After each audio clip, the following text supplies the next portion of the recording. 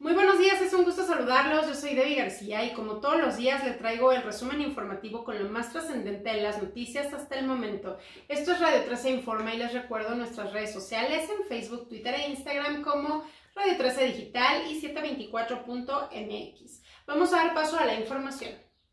La Secretaría de Salud reportó 83 nuevas muertes por COVID-19, con lo que suman 1.434. En el país hay 15.529 casos confirmados, 852 más que el día de ayer.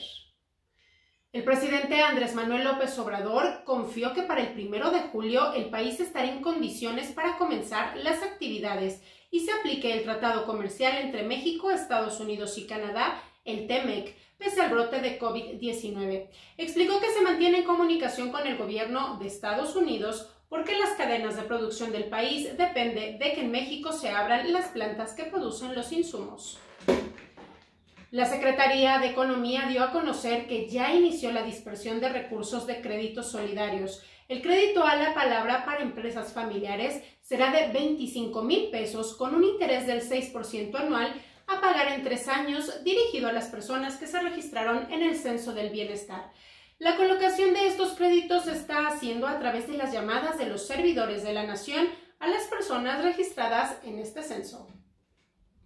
El Instituto Politécnico Nacional anunció este lunes que pospondrá la realización de su examen de admisión debido a la extensión del periodo de confinamiento por el COVID-19.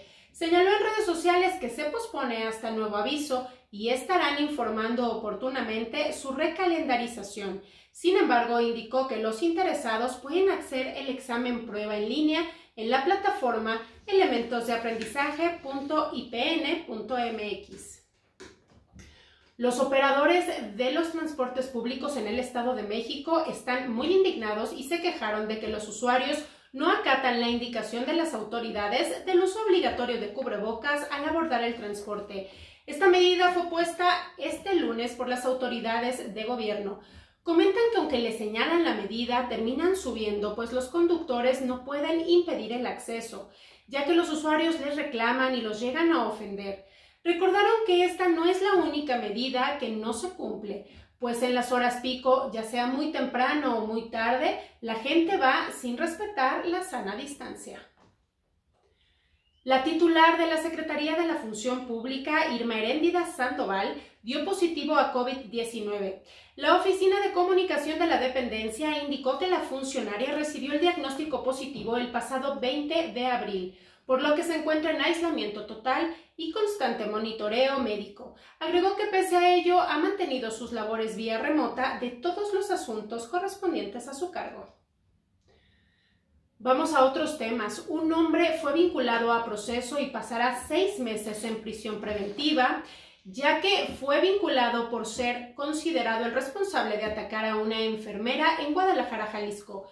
Los reportes apuntan a que la enfermera terminó su jornada de trabajo en un hospital privado cuando fue interceptada por el hombre de 49 años identificado como José Ángel N., el cual la ofendió con palabras altisonantes, la amenazó de muerte y la golpeó. Vamos a información internacional. La primer ministra Jacinda Arden afirmó este lunes que Nueva Zelanda logró una importante batalla contra el coronavirus al no registrar más casos de contagios locales. Tras cinco semanas de restricciones, el país no ha registrado más casos de contagios locales. Es por ello que este lunes bajó un grado del máximo en el que se encontraba el país, que registró 1.122 casos, con 19 muertes hasta el momento. En otros temas internacionales, en Italia, el primer ministro Giuseppe Conte indicó que está lista para relajar las instrucciones relacionadas con el coronavirus a partir del 4 de mayo, para que los ciudadanos puedan retomar algunas de sus actividades poco a poco. Italia, uno de los países más afectados en Europa, ha estado bajo aislamiento durante más tiempo que cualquier otra nación. Esta registra hasta el momento 26.644 muertes y 197.675 infecciones. El presidente Donald Trump dice que no se responsabiliza por el aumento en las personas que usan desinfectante de manera inadecuada después de que sugirió ingerirlo como una cura para el coronavirus. La semana pasada el gobernador Larry Hogan dijo que su estado ha recibido cientos de llamadas de personas en todo Maryland preguntando si inyectar o ingerir desinfectante era una forma efectiva de combatir el coronavirus. Pues hasta aquí las noticias más relevantes hasta este momento. Los invito a que el día de mañana nos sintonicen a las 8.30 de la mañana por Radio 13 Digital. Les recuerdo nuestras redes sociales en Facebook, Twitter e Instagram como Radio 13 Digital y 724.mx. Esto fue Radio 13 Informa. Yo soy Debbie García y que tengan un excelente día.